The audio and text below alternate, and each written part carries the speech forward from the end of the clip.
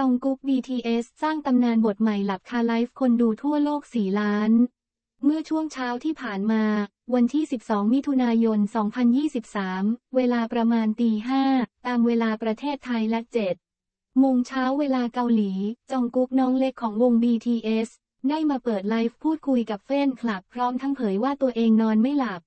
และในบางช่วงบางตอนของการไลฟ์จองกุกได้เผลอหลับกลางไลฟ์สดที่มีแฟนคลับดูอยู่ทั่วโลกประมาณ4 ล้านคนและสักพักไลฟ์ได้ตัดจบไปงานนี้ทำเฟ้นคลับทั่วโลกเฮเอ็นดูสุด